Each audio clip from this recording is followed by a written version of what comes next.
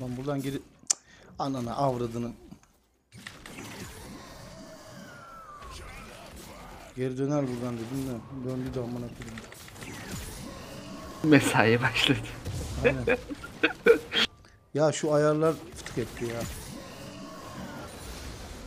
Çok da önemli değil ya.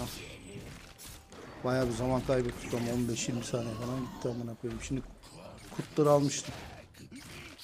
İlk oyun günah olmaz ya.